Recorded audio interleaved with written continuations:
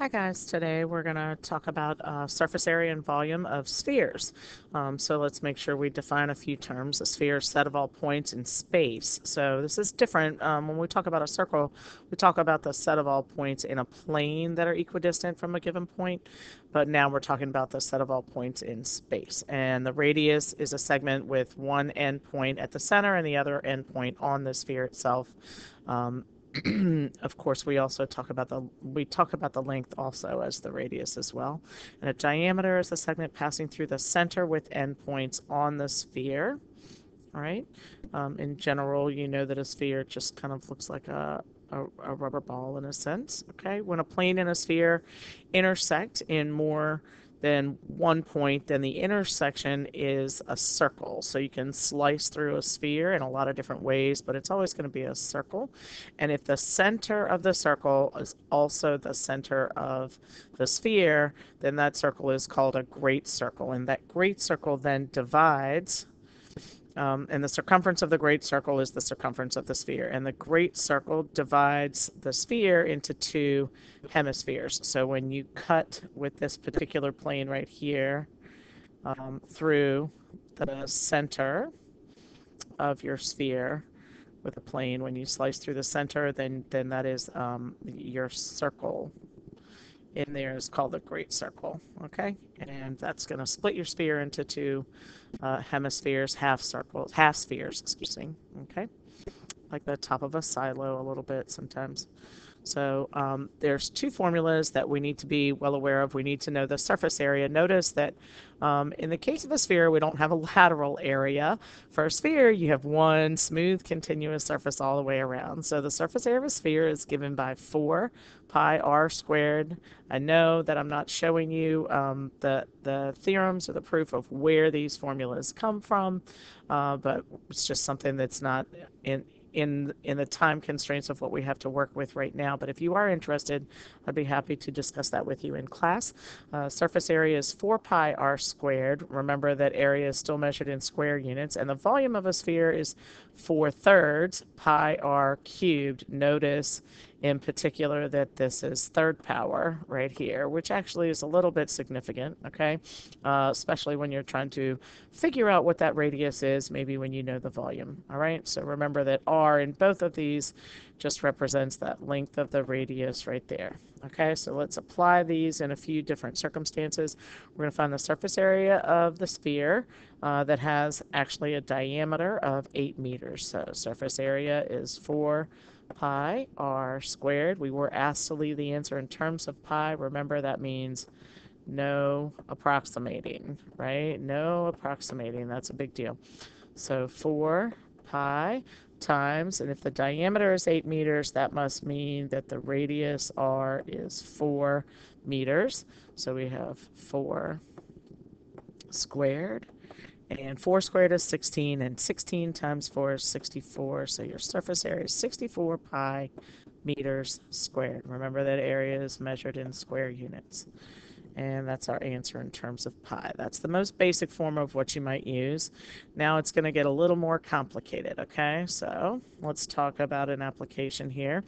Earth's equator is about 24 1,902 miles long, and we want to approximate the surface area of the Earth, right? So we know that if we're going to approximate the surface area of the Earth using 4 pi r squared, then we're going to need to know what the value of that radius is, right? That's an unknown quantity right now.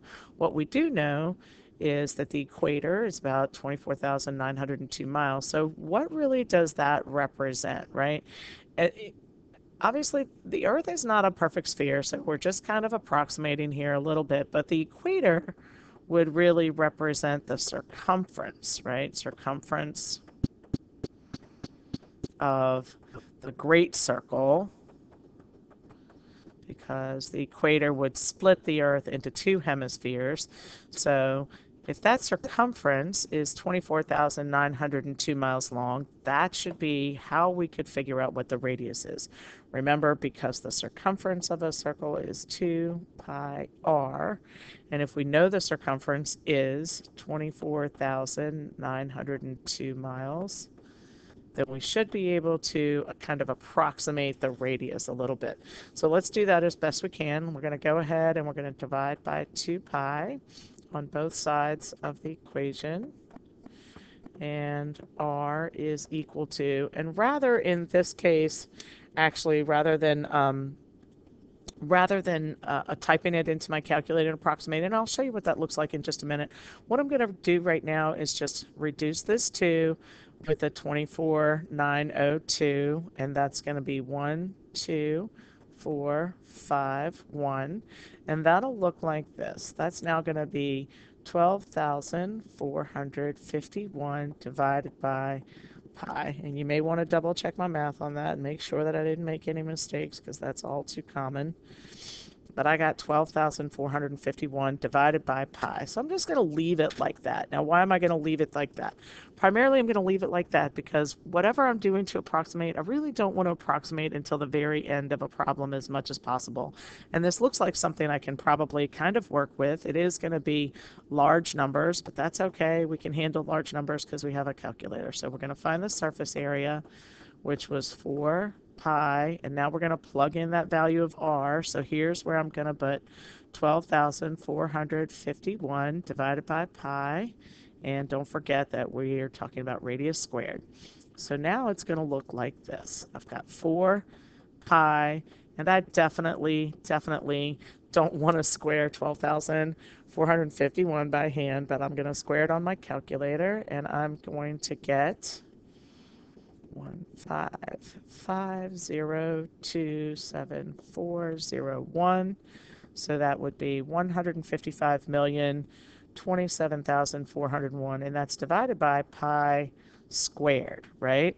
Okay, so here's what's going to happen now. I'm going to go ahead and cancel a pi. This 4 pi is kind of like over 1. I don't know if you remember that, but uh, if you make a fraction out of any integer or whole number, um, or, or expression number, then you would put it over 1. And then I'm going to cancel this pi and this pi squared. That leaves me with a pi in the denominator.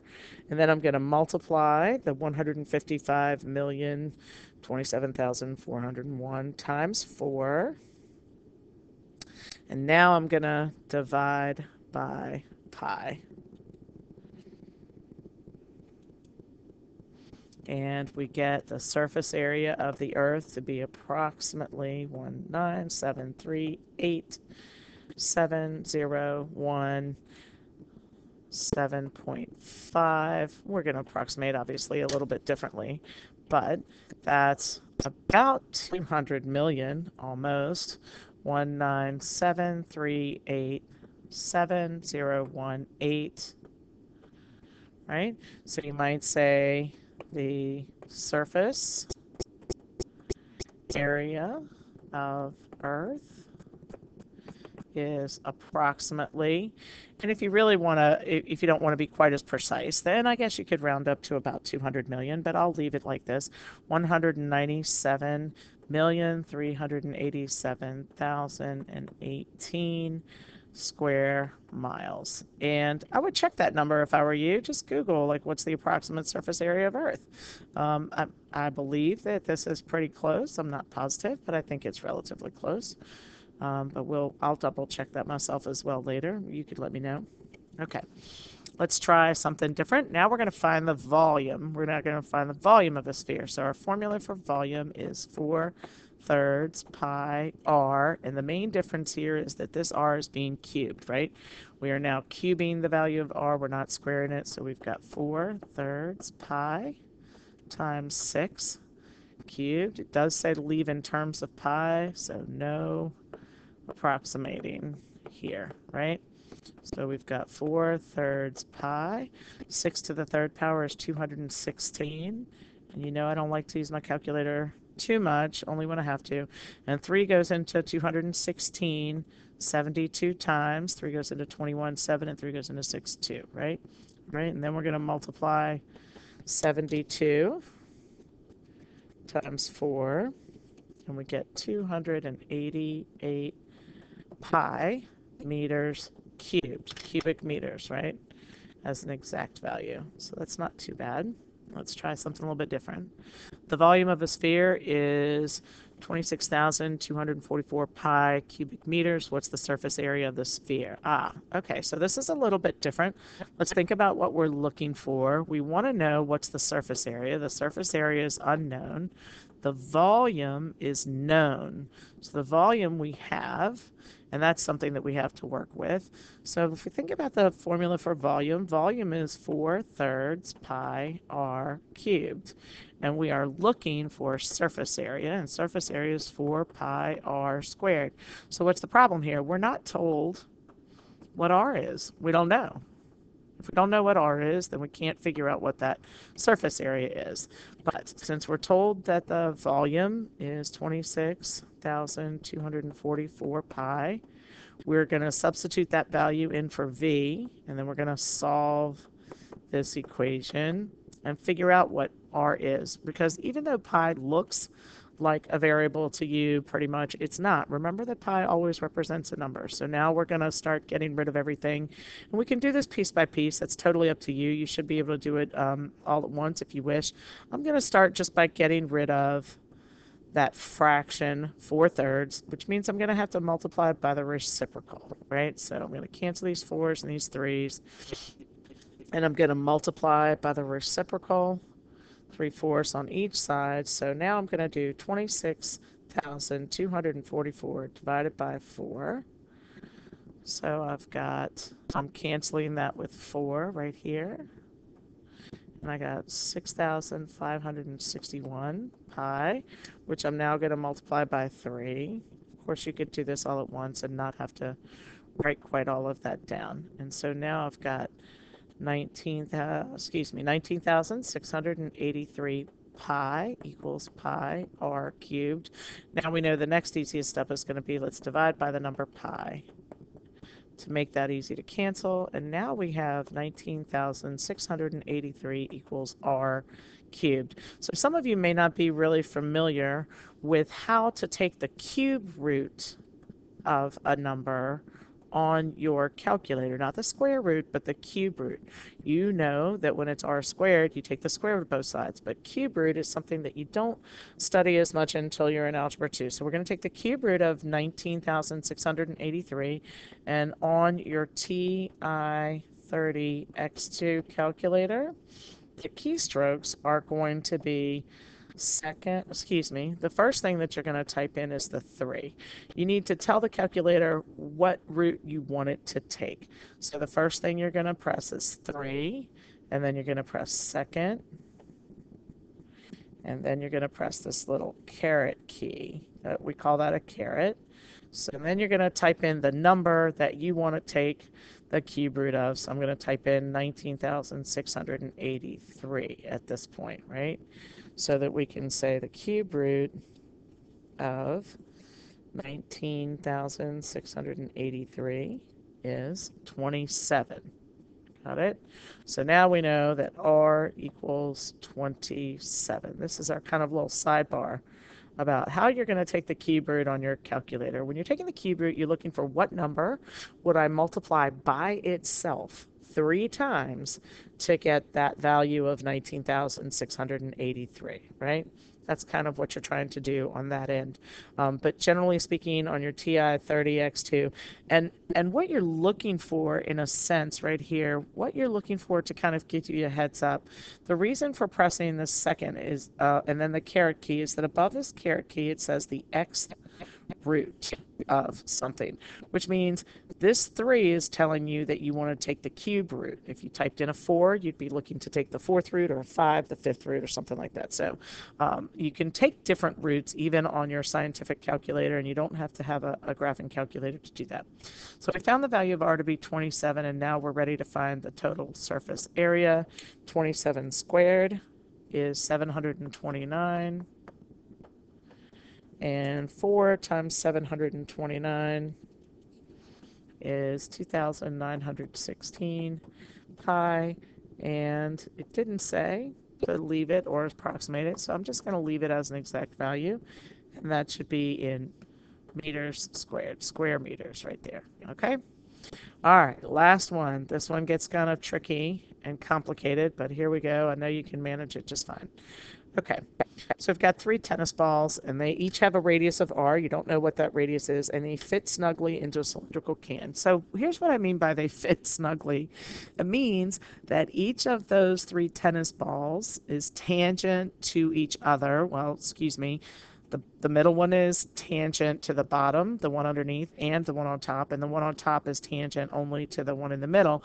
But it's also touching or tangent to the sides or the, the lateral surface, the interior lateral surface of the tennis ball can, of the cylindrical can. Okay, so they're they're all fitting very snugly. There's there's not wiggling around, it's not shaking back and forth and stuff like that. And also when you put the lid on that tennis ball can, it's going to touch the top of that tennis ball as well. Okay? All right, so let's talk about what we're looking for. We want the ratio of the volume of the tennis balls to the volume of the cylindrical can. So notice when we say the volume of the tennis balls to the volume of the cylindrical can, that means that we're going to put that in order. So volume of three tennis balls over the volume of the cylinder can. I know it's a cylindrical can, but I'm just going to say cylinder. Okay. All right. So let's figure out how we're going to do that because we don't really, we're not really looking to find a volume. We just want the ratio. Remember, a ratio is a comparison, comparison of two numbers.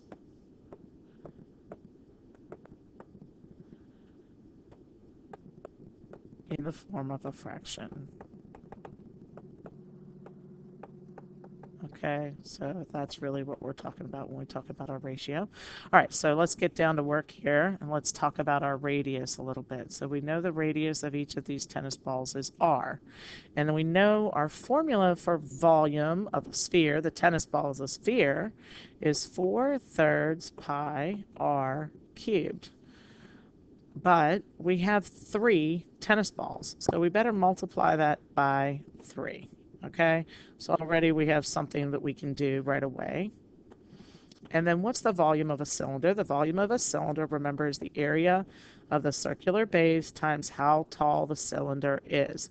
Okay, so, so far we're okay, except we got a problem here. Number one, we don't know what the radius is. Number two, we have two different variables in our ratio. We have an h. We don't really want to have an H. It'd be okay if we just had R because we might be able to cancel some R's, but we can't have that H. So let's see if we can represent, how can we represent H in terms of R? That's kind of a big deal, right? Because we want to talk about the height of the cylinder, but we don't want to use the variable h because then we might not actually be able to get an accurate representation of that ratio. Okay, so let's think about that for just a minute. If the radius of each tennis ball is r, then that means that going up here is r, but also going this direction is r. So what's the diameter of each of those sphericals, each of the spherical tennis balls? That diameter is 2r. Well, if that one's 2r, this one's also 2r. These are all the same size. And this one is also 2r, right? Okay, fair enough.